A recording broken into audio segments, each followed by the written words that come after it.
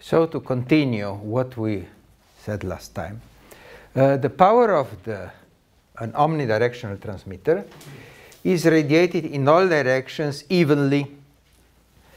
So uh, with the full uh, solid angle 4 pi, we have, uh, it is distributed over an area that's equal to uh, 4 pi times r squared. And our Poynting vector here is 1r. Uh, so now radiated power divided by this area, 4 by, by this area here. And area is 4 pi r squared. With no power loss, uh, power is just propagating in free space. There is nothing eating up this power. This power is traveling, and if there is no obstacle, uh, this power is traveling up, away, away from our transmitting antenna to infinity. Uh, just to explain what we were doing here. So first, efficiency of the transmitter, then spreading the power out to the full solid angle, and then collecting uh, the power with the receiver of a limited size uh, of, the, of, of a limited area here. Uh, now, uh, we saw the simple directional transmitter here. What, what is the question, please? Okay. what is the question here now? It's, the calculation was very easy if we had a simple spotlight here with a reflector. The spotlight does not generate a parallel beam. It, at large distances, this beam always beca becomes conical. And if we know the solid angle of this beam, well, the reception improves uh, as much as this solid angle is smaller than the, uh, the full solid angle 4 pi. That is, uh, uh that is very simple to uh, talk about. Now the question is how to calculate, how to, if we have a real antenna here. A real antenna will not have uh, such a nice beam, so a solid angle, uniformly illuminated solid uh, uh, cone with in a solid so given solid angle and nothing out of it. A real antenna will have a certain radiation pattern. So it, a real antenna will have a radiation pattern. So uh, a real antenna will have its uh, radiation, radiated, uh, radiated power. Okay, one r the direction, some kind of a constant. When we had physical constant, we'll have r squared, and here we have its amplitude radiation uh, pat pattern or uh, power squared or power radiation pattern we have up here. So this will be for any real antenna. Well, this uh, f of theta and phi of phi is an arbitrary function. Well, we are going to try to make antennas that uh, have the, the, where this function makes sense, but still it's an arbitrary function that may have a main radiating lobe, may have side radiating lobes, may have nulls but not completely zero in all unwanted directions. So uh, this will be actually a much more complicated function than this simple cone here with the solid angle omega. Much more complicated now. Now how to work in this, uh, uh, this case, how to uh, calculate the directivity in this case. In linear units, I'm not going to use anywhere logarithmic units. Logarithmic units are good for measurements, are good for laboratories, are good for specifications, but for mathematical uh, calculate mathematical evolving formulas, mathematical formulas, it's better to use linear units. It's much life. It's much easier with linear units. So the directivity will be actually the maximum Poynting vector, Poynting vector, absolute value because of the vector, né? divided by what would give uh, uh, an isotropic antenna.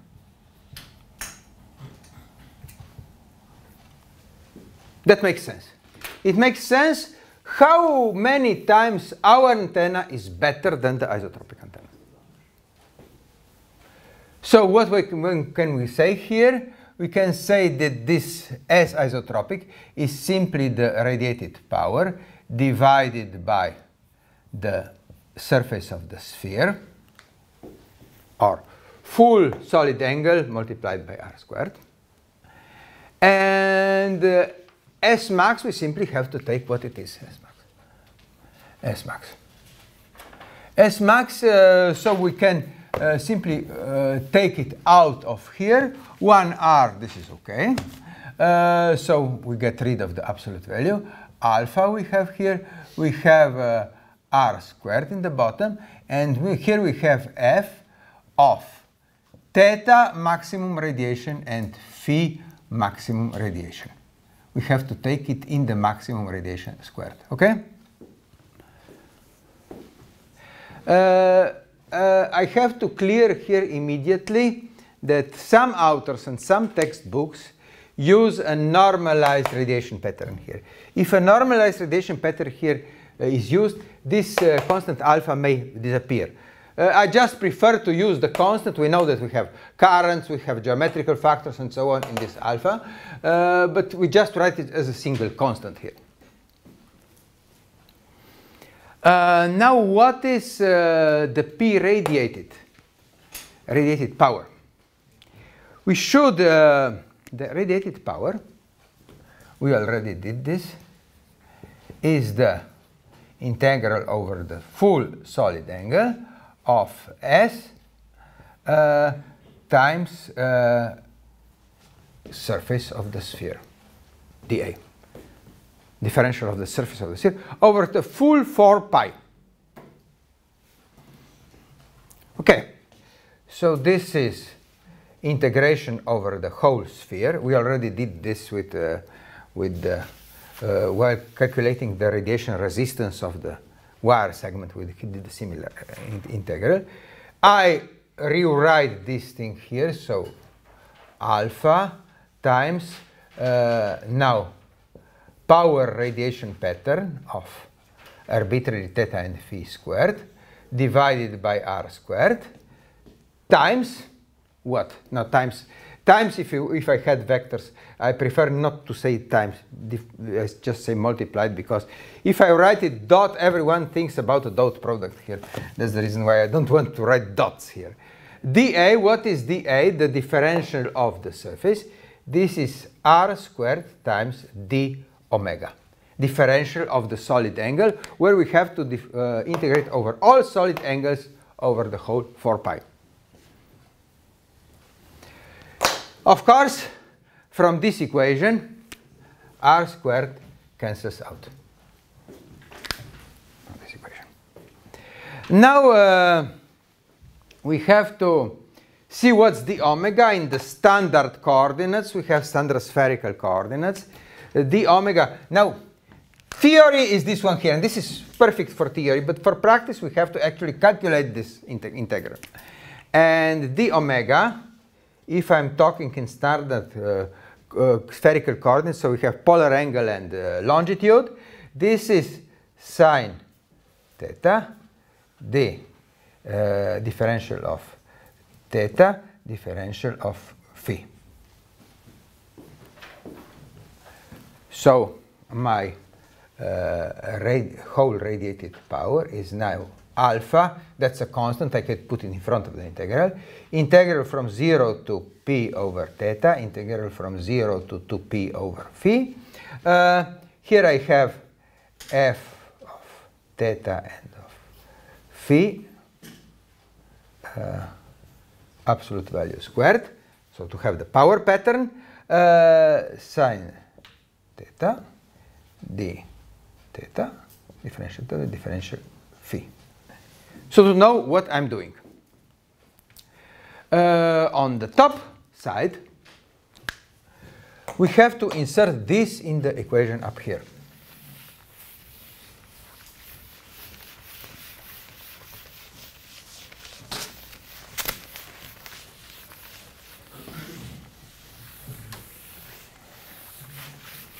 Uh, in the equation up there, we see immediately the r squared, that r squared cancels out because uh, r squared is uh, in the numerator, in the denominator is in the same position.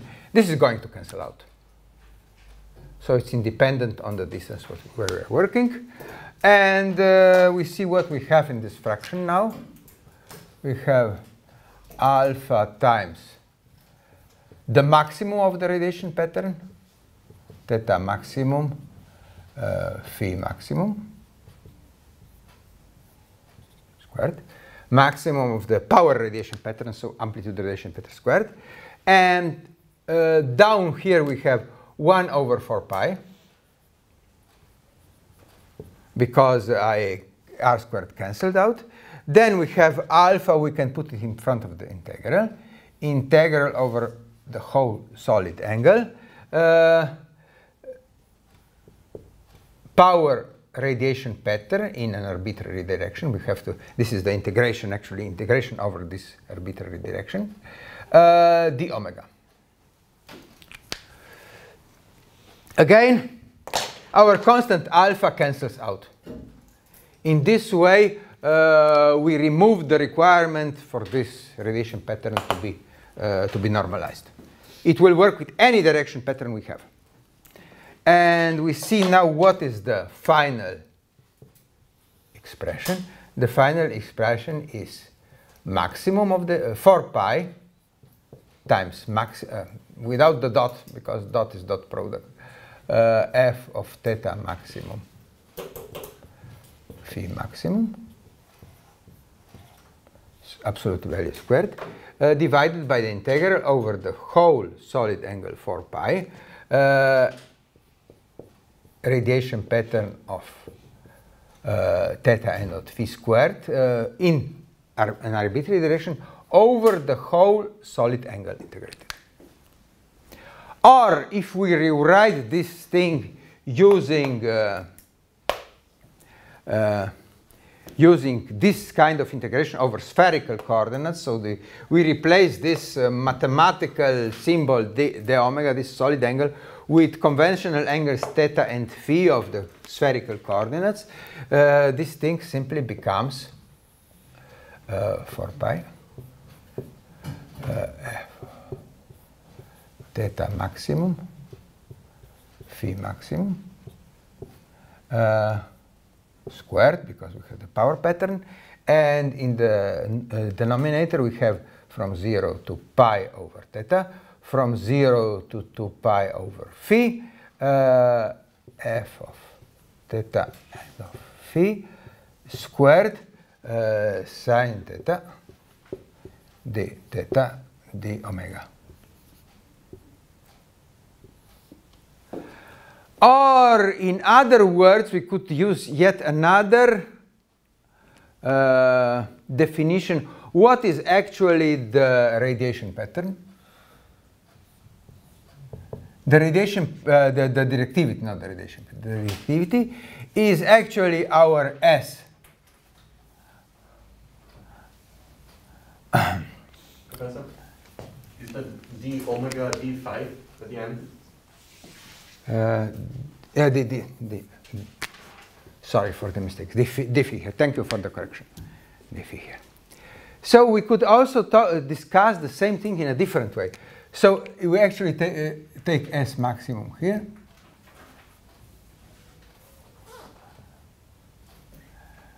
by divided by an uh, average S of our antenna. These are the simplest to calculate the average. Here we are actually calculating the average of this function, the average of this function over all possible angles. That could be also another definition of the directivity. Now, what does that mean? Can we make uh, an example, a calculation here now? Yes, we have a very simple antenna. We had it before. Our uh, current segment, uh, wire segment with current. Uh, the electric field was given as 1 theta uh, j k z 0 over 4 pi i times L Uh, e to the minus j k r over r. And here we have at sinus theta. So what is now our radiation pattern? our radiation pattern is this here. Amplitude radiation pattern f of theta and dot phi is just this sine of theta. So this we know for our wire segment now. Can we calculate the directivity of this wire segment? Yes, we try. Uh, so we take the formula we have here. So directivity is 4 pi. What is theta maximum here? Uh, it's independent of phi, but theta maximum is actually pi half. Sin sinus of pi half is actually 1. So here we have 1 squared. Nothing very difficult to do. What we have in the denominator? In the denominator we have this integral. Uh, actually is an integral from 0 to pi, from 0 to, to pi over the longitude. Our pattern is sine of theta. Absolute value squared times another sine of theta d uh, theta d phi, differential theta differential phi. We have to calculate now this integral, and at least once we have to do it. Last time we didn't do it because there was no time. So this thing here is independent of phi. So we can calculate over phi. We have 4p in the numerator, 2p in the denominator, and we are left with the integral from 0 to p. Uh, sine squared theta is always positive, so this uh, positive and real, this absolute sign has makes no sense. Uh, sine of theta d theta. Okay, we could uh, also say sine cubed, but it's not convenient at this moment. So 4p and 2p cancel out to have just the uh, 2 in the top. And we have to work on this uh, integral. So we have to introduce a new variable u is cosine of theta. Now du, differential of u, is uh, minus sine uh, theta d theta. Theta, not phi, theta. Theta. I hope it's, it, you can read it here. Theta. So what we have here now, uh, we have integral. Uh, sine theta is what? Is 1 minus u squared. So 1 minus u squared. Uh, du is minus sinus theta d theta. We have sinus theta d theta here, so it's du.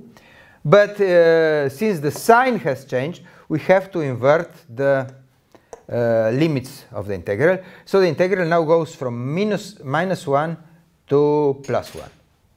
Before it went from plus 1 to minus 1. In uh, exchanging the limits of integration, we can also uh, handle this minus sign here. And we see what we get out. 2. 1 integrated from minus 1 to plus 1 is 2. Uh, minus u squared integrated is minus u cubed u to the third power uh, thirds. And uh, this thirds comes out. So u cubed from minus 1 to plus 1 is also 2. So this is minus 2 thirds here. Uh, and we have 4 thirds in the numerator. So uh, solving the fraction is number 2. 4 thirds, 4 times 3 to the 4 thirds we had in the numerator. And we have how much here? Uh, 1 point half. 1 and a half. So uh, the directivity of uh, short segment of wire is not omnidirectional. Uh, it's sinus theta, the radiation pattern. And our directivity now is 1 and a half and this is actually larger than 1. So uh, even uh, such a stupid antenna like a short segment of wire already has a directivity larger than 1. In fact, in radio it is very difficult to make omnidirectional antennas. Uh, next thing, uh, we have to look at the receiving side right now. At the receiving side, And at the receiving side, I will draw here many different receivers. Uh, it's better to, okay, I, will delete that afterwards, uh, just to have a look at the receiver right now. Uh, we didn't talk yet, yet about the receiving side of our radio link. So we saw here, this was an example how to calculate the directivity. Now, what can we do in the receiver? We may have different receivers. I will draw two identical receivers.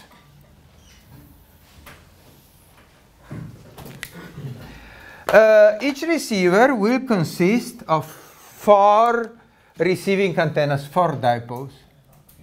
Okay?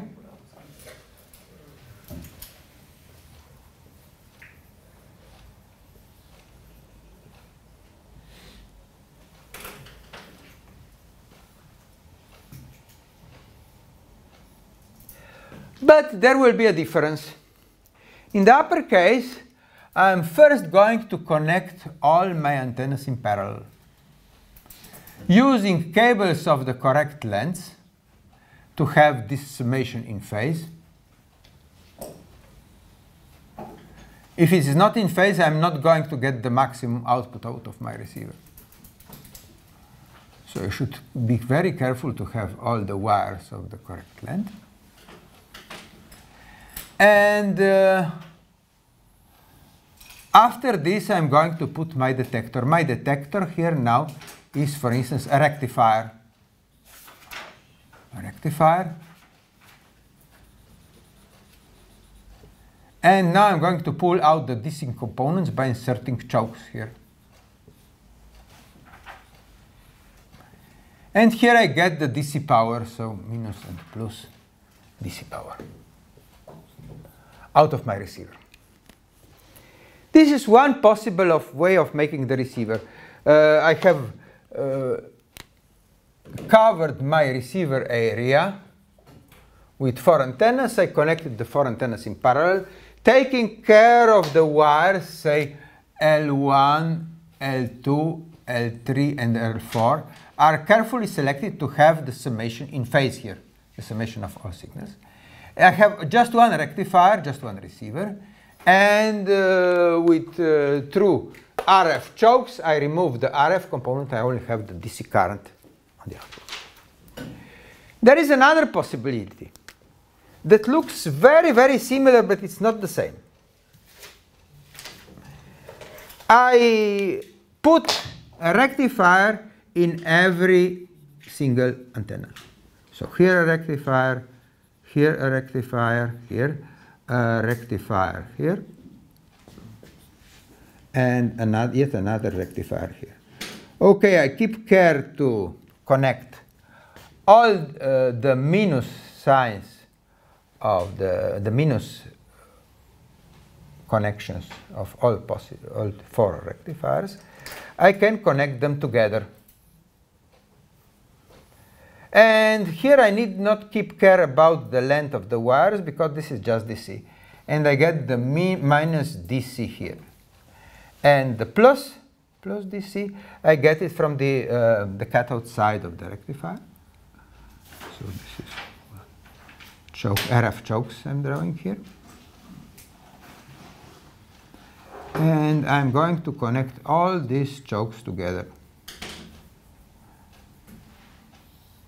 I need not keep care about the length of the cables here because this is DC. Okay, ow. Shouldn't make a short here. I hope you, uh, you understand what I am doing. Here I have one common rectifier for all antennas. Here I, each antenna has its own rectifier. Of course, I can only transmit AC signals. I cannot transmit DC because with DC I have no radiation. Now the question is, which one is better? Or which one would you use in your radio?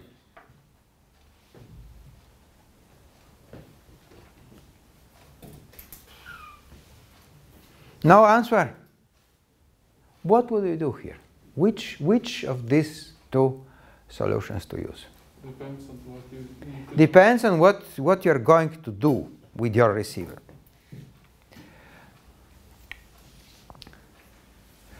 Uh, in this case here,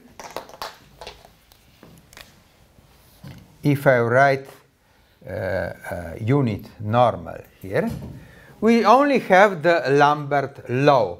So if the wave is coming under an angle here, the radiation is coming under an angle, say theta of the receiver. Here the, uh, the radiation pattern of the receiver, receiver of theta receiver and phi regarding to our receiver is just uh, the power radiation pattern is just the Lambert law in physics. So it is just the cosine of theta receiver. This is called also the Lambert law. Lambert law in physics. So very simple relationship. This is just the, uh, the dot product really between these two here. That's all what we have. But up here, the upper, Uh, the upper example is not that simple. We are getting signals here, here, here, and here. In this case, the phase of the individual signals is important.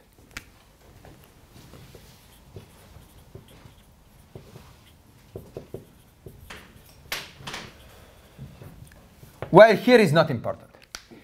Uh, that the phase is important means that if I'm changing the direction of the transmitter here, I may, each individual antenna still receives the signals, but those signals may cancel out here at the summation point because they are not in phase. If the single, uh, single contributions of every single antenna is not in phase with the other contribution, it's going to cancel out. So here phase is important and uh, uh, uh, the radiation pattern is much more complex.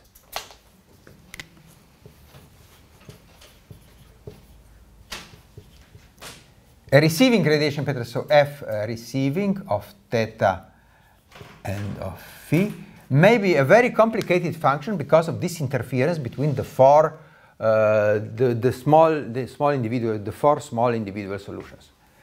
So this receiver is going to be much more directional than this receiver. Uh, we co could call this a coherent receiver.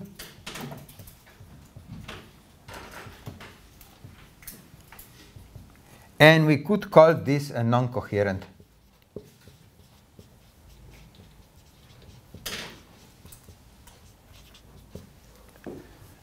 So we already have a distinction between how we made this receiver.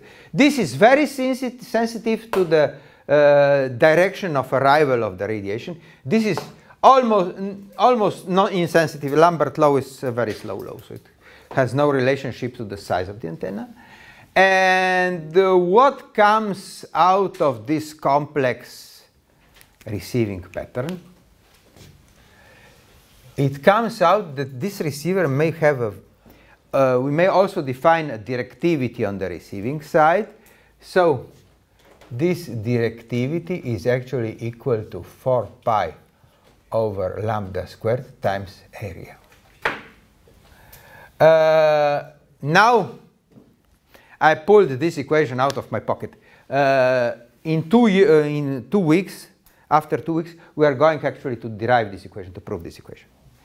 But uh, the receiver may also have a directivity because of a very complex radiation pattern caused by the uh, caused by, by the interference between the different uh, different uh, uh, contributions by different antennas. Well, here phase is important. Every antenna has its own phase, and phase is important.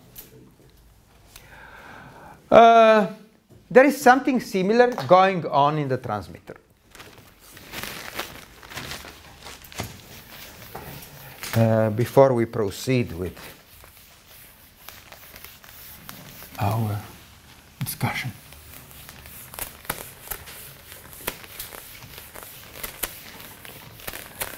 In the transmitter, we, we may also do many different things. We may have uh, the same area occupied by the transmitting array. But we can have and all the antennas, all the four individual antennas, individual elements, connected just to one generator. So I only have one generator here, and I'm connecting this generator with carefully selected cables, cable length L1, uh, L2,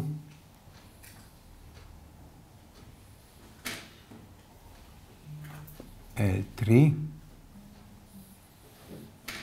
and L4 to the individual antennas. This is the usual way to do things in radio. But uh, I can also do something different. I can put a generator in each antenna.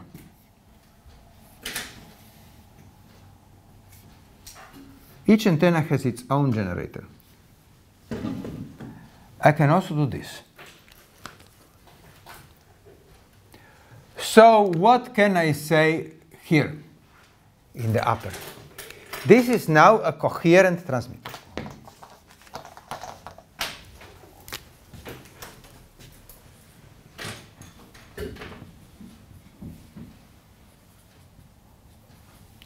This is a non-coherent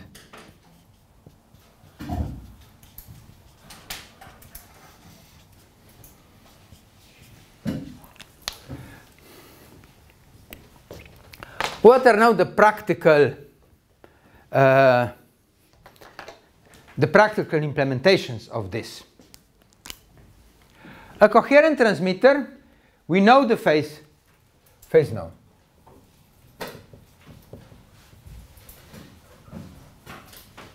Phase is known, and we know the radiation pattern. The radiation pattern here is known. And this radiation pattern, also here we have uh, the definition that directivity of this transmitter is actually prop exactly proportional to its area, if this is the area of the transmitter. Here the phase is unknown,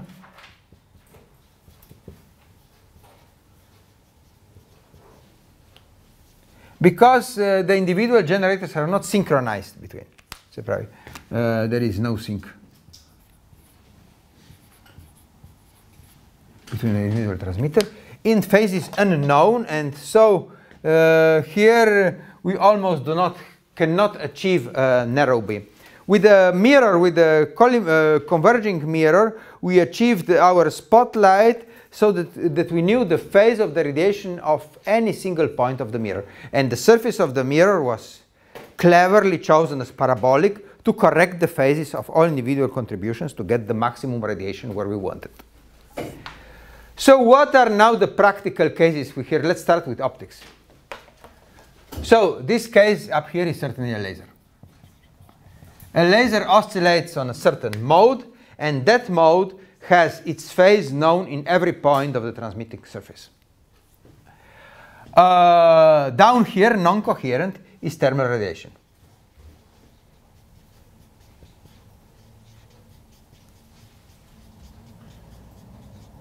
Where every point is uh, transmitting independent of all other points, so generators are not synchronized. These light bulbs on the top of this room are uh, non-coherent transmitter. Every grain of the phosphorus that's emitting white light here is not synchronized to the other grains. So these light bulbs have a pretty omnidirectional pattern.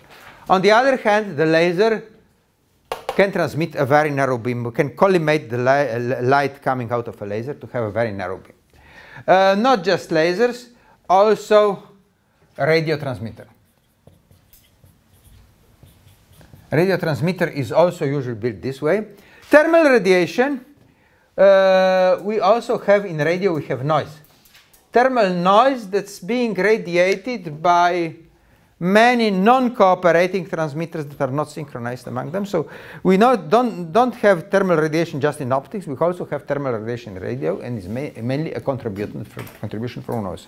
So we have both cases here and we have both cases here.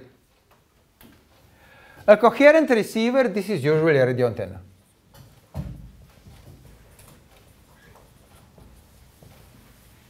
Most antennas are built this way, as arrays, as phased arrays together. But we also have this uh, solution here. This may be in optics a photodiode. Every single point of the crystal of the photodiode is sensitive to light and operates independently of all other points on this photodiode. So photodiode uh, can only can only resemble the Lambert, Lambert law for its radiation pattern, not the complicated radiation pattern of antenna. Uh, this thing here may also be used in radio, but its application is quite particular. So this was proposed for power transmission, for communication. Communications.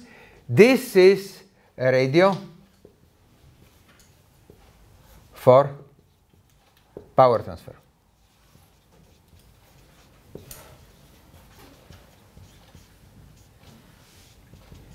Since uh, this antenna needs not be adjusted exactly to the transmitter because it has a very broad radiation pattern, it can receive more than one transmitter and it can convert the power efficiently into DC regardless of the exact transmission position of the transmitter. So this was proposed, but this is seldom used. Usually photodiodes are much more frequently used than, uh, than uh, such rectifier, rectifying antennas with rectifiers built in. This is uh, in radio, we usually have this too. In radio, we usually have a coherent transmitter and a coherent receiver. This is the usual solution for the radio link. So this is link. This is signal. But uh, in radio, noise is going this way. Noise is usually thermal noise. It's generated by non, non-synchronized transmitters. It may also be interference because uh, people that are interfering us, our radio communication, they don't even think about us. They are just, uh, uh, that's a side product of their transmission is interference to our communication. So interference may also originate from several non, uh, non uh, synchronized transmitters. So we are going to have to deal with this one or with this one. Uh, we are probably not, this is a very simple communication to, for power, power transfer using radio. In fact, uh, this was used, was proposed by NASA uh, some 50 years ago as a space power station.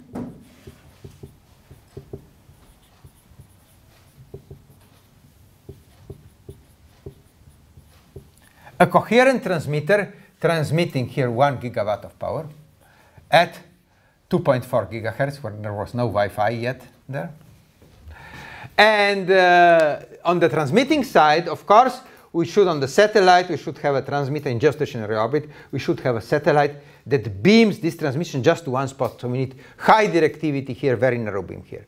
But on the receiving side, we want to, to receive everything what we can get not just from this satellite, also from other satellites, from other directions, just to have just one receiving station because this receiving station was proposed to be around 10 kilometers across, so not very small, quite expensive, but for one gigawatt of power, you, you will probably, going to, uh, probably do that because this power is free uh, otherwise, except for building the space power station. So this, this was also proposed actually to be done, and experiments on the ground were made at a few kilometers distance and a few 10 meters of antennas in diameter, uh, still using a rectifying array on the receiving side. Uh, for now, for our signal communication, we are going to deal with this link here. We are going to briefly mention noise when we come to thermal radiation and thermal noise with antennas. So we are going to consider this link here and this link here. Uh, we are not going to use the non-coherent reception in radio. Of course, we use it in optics. optics. The photodiode is a uh, coherent reception. So let's try now to make some link calculations using these new definitions. So uh, what is new here actually? If we have coherent receiving and transmitting antenna, there is a close relationship, very close relationship between the antenna size and the antenna directivity. This is new. And we are going to prove this in two weeks when we get to the Huygens source. But we cannot do that today. Uh, we have to calculate now the radio link using these new units.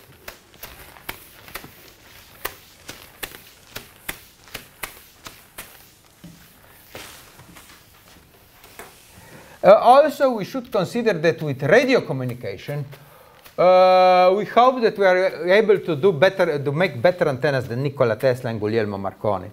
Uh, we hope to do it better. So the efficiency of our antenna is close to unity. We don't really lose much power. So how are we going to make our link right now? We're going to make our link in this way. This is our transmitting antenna contain, uh, connected to a generator. And this is our receiving antenna connected to a load. The, uh, this resistor represents our load. This is the receiver, this is the transmitter. Now, what is our calculation? We have here transmitted power. We have here received power.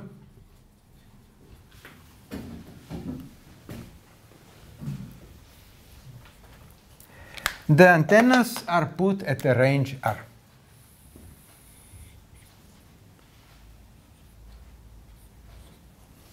Okay, now we have on the transmitting side, we have an efficiency of the transmitter that's hopefully going being close to 1. The efficiency of the receiver, if we are making things good, is also close to 1, except for a very important exception. Your mobile phone, you know that people don't like antennas. And uh, mobile phones have usually very poor efficiencies for the antenna. But that's, uh, that's an issue of mobile, mobile phones, uh, not a technical issue. If I was building, if I were building mobile phones, then I would uh, put a good antenna on a mobile phone, no, not, not the shit they have right now. Uh, we have a directivity of the transmitter, and we have uh, an area of the receiver. Okay? So now we have all figures. And we can calculate our link. So the first calculation is what we did the hour before. So power in the receiver is transmitting power times efficiency of the transmitter times directivity of the transmitter uh, divided by 1 over 4 pi r squared. This is the uh, sphere surface of the sphere that's the power is distributed if it were omnidirectional. Uh, then we have area of the receiver and efficiency of the receiver. Okay. We could also rewrite this using gains, but uh, let's leave it this way. This was the formula we got uh, before for an arbitrary case of coherent or non-coherent reception. But now we have both sides coherent. If we have here the coherent receiver, so if we know the phases of each individual contributions, then the uh, directivity of the receiver is uh, given by uh, 4 pi over lambda uh, area of the receiver. Or, uh, in the other words, area of the receiver is lambda, lambda squared over 4 pi. I hope I, I, wrote squared. Yes, I wrote squared. Lambda should be squared here, so just, just to check. Uh, directivity of the receiver. So, I can rewrite now this equation in a different form. Power in the receiver is power of the transmitter. Uh, efficiency of the transmitter, directivity of the transmitter, uh, 1 over 4 pi r squared. Uh, now I have area of the receiver, I replace it uh, by lambda squared um, 4 pi. Uh, directivity of the receiver, uh, efficiency of the receiver. I could also use gain. Gain of the receiver is uh, efficiency of the receiver times directivity of the receiver. Uh, so I could replace these items rewriting in this way. Power of the transmitter, uh, gain of the transmitter, gain of the receiver, because I have gain of the transmitter here, gain of the receiver here. Uh, and then I have this lambda over 4 pi r and everything is squared here because 4 pi is squared, r is squared, lambda is squared. Okay? I can rewrite the equation in this way. And yet I have yet another possibility. Uh, say the transmitter, I can also replace this directivity of the transmitter is given by 4 pi over lambda squared uh, times area of the transmitter.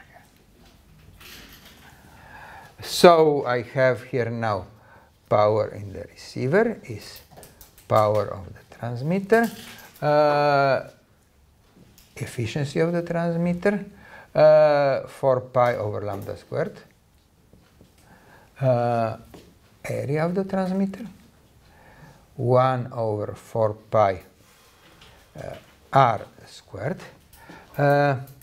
Uh, and here I have area of the receiver, uh, uh, efficiency of the receiver.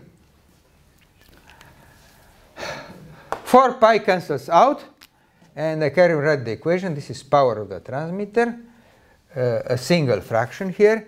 In the numerator, I have efficiency of the transmitter, area of the transmitter, efficiency of the receiver, area of the receiver. Uh, in the numerator, I have lambda squared and r squared.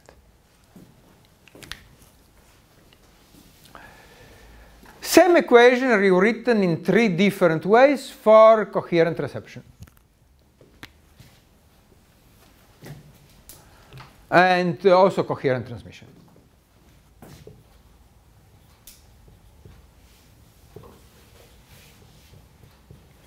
as it usually done in radio communication. Now, the question out of all this discussion comes. What wavelength should I use for radio communication? That's a very, very general question. What wavelength is the best for radio communication? Most. The first equation states that the link budget is independent of the wavelength. The second equation states that the received power is proportional to the lambda squared. You see here lambda squared. And the third equation states that the received power is inversely proportional to lambda squared. So They cancel out. No, they don't cancel out. We have just three equations telling exactly the same thing, but uh, the result is a little bit strange here. So this equation proposes to use the longest possible wavelength, and this equation here proposes to use the shortest possible length. And the initial equation says we are not dependent of the length anyway. We are independent. So now what's the difference between these three equations? All equations are called after Friis.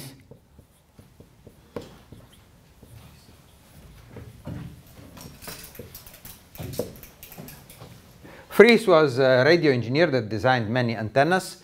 Uh, also the rhombic antenna is his design, uh, living, uh, working between the two world wars in the time frame. And at that time, uh, these terms came out, directivity and gain. So he could talk about this thing before. These things were not known and uh, these things were not known and he could not write his equation because he had no numbers to put in. But now what is the, what is the story about? This is what you can get from high school physics. No wavelength inside, simply propagation of radiation. And what we did the first hour today. Nothing very, very clever. This is what Guglielmo Marconi did. Guglielmo Marconi was unable to make particularly directional antennas, at least at the beginning. of, I talk 1900, not 1930, but 1900 year. Since he was not able to make high gain antennas, highly directional antennas, you need directivity to get the gain. The efficiency was low anyway, but uh, what Guglielmo Marconi did, he tried to use the longest possible wavelength. Uh, Guglielmo Marconi in the beginning, in the 1900s, he even tried to hook his antenna wires on free-flying balloons to have the highest possible antenna for the longest possible wavelength. And in fact, initially in radio waves, uh, radio waves were used only using very long wavelengths, say from one kilometer up to 10 kilometers wavelength. Because that's the only thing that worked with his uh, very inefficient receiver he had. So if you don't know how to make gain with your antennas, this is the right equation to go. Where do you, uh, also this limitation applies? This limitation applies if you are having two handheld radios. Two handheld radios have non-directional antennas because you don't know how people to turn these radios while talking on them. So as long as you have non-directional antennas, both receiver and transmitter, this is the equation that applies, you go to the longest possible wavelength that's practical radio, for your radio. So a radio, handheld radio probably cannot have his antenna longer than one meter and one meter and a half. And this is the reason why frequencies around four meters wavelength were first used for military short range communication because that's what worked. If you have uh, the idea of broadcast, so one transmitter to many receivers, or one base stations to many cellular phones, what is there the limitation? You have a very well ra defined radiation pattern on the transmitting side.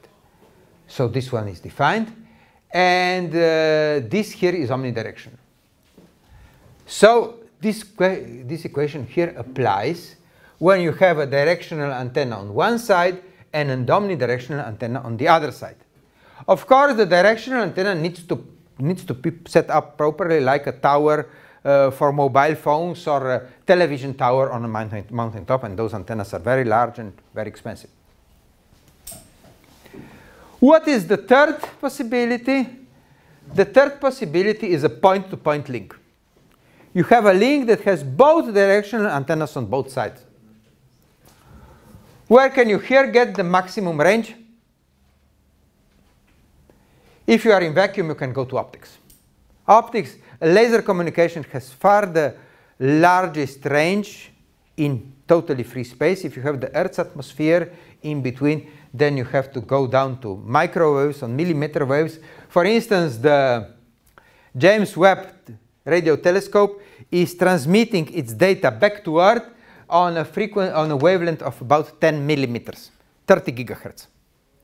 Because at 30 gigahertz, with the antenna that you can fit on the James Webb, James Webb is very well stabilized because it's a telescope observing stars. So you need to know where you do point it. So it's not a problem antenna pointing. On the Earth is also not a problem pointing the antenna, but an antenna larger than 60 meters you cannot build on Earth. And so you have define the areas of the antennas and you work on the pointing of this antenna to have the highest possible data rate. Or inter interstellar probe is the same, same thing. If you send a probe to Jupiter or even further on to Neptune or somewhere, somewhere in deep space, then you have two directional antennas both sides. And on both sides, you are limited with the size and you try to go to as high a frequency as you can as long as you are with the radio waves. In fact, they are already thinking for interstellar, uh, for inter, uh, for solar uh, probes inside our solar system. They are already thinking about laser, using laser communications and using a receiver in low Earth orbit, but outside the atmosphere, so you can use optical wavelengths. So this proposes optics. This proposes very long waves. This is probably old technology, or where we, when we cannot point our antennas. This is when we can work on the pointing and we are limited with the size of our antennas. So we should understand which formula to use depending on our uh, application. Also this one makes sense because in some occasions we have a defined directivity on one side and defined antenna size on the other side of the link. That's for this hour. Uh, yet next hour we have to look at some details about measuring antennas because things are not that simple as I have them here. Uh, so here is lowercase r. r, I wrote it this way. Sorry for the mistake. r in all equations. And what we should look in uh, next hour is uh, a subtle problem we don't see right from these equations. r is always in the denominator here in the denominator here, here in the denominator, here in the denominator, always r squared. What happens if I decrease the distance between the transmitter and the receiver? If I decrease r, I could get, according to this formula, according all three formulas give the same wrong result. I could get more power in the receiver than I put in my transmitter. And we have to look at this problem next hour.